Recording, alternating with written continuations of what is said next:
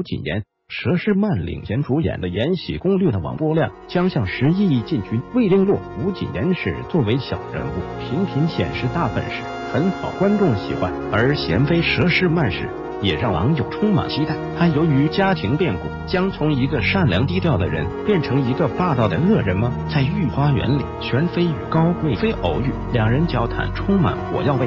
高贵妃首先温柔的对贤妃冷嘲热讽，突然高贵妃音调升高：“是谁给你的胆子质疑本宫？”高贵妃自认为高人一等，气势上明显占优，看来贤妃要吃亏了。贤妃从容的回答高贵妃，先赞她国色天香，还有家族后盾强大，之后说。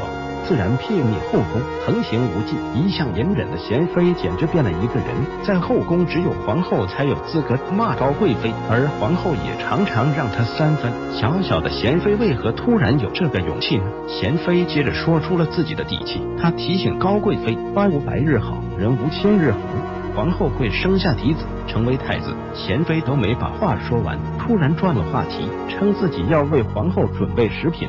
要失陪，结果丫鬟顾着骂贤妃，而高贵妃却显得很冷静。高贵妃认为贤妃大大顶撞自己是背后有皇后，这叫狐假虎威。高贵妃要擒贼先擒王，她已经迫不及待的要对皇后下黑手了。他想制止皇后生下嫡子，表面上高贵妃分析出了问题的要害，可是事实是这样的：贤妃明知高贵妃每天都来御花园采花，却故意要撞见她，下人实在不明白主子的用意。而小编认为，玄妃在向高贵妃发飙时。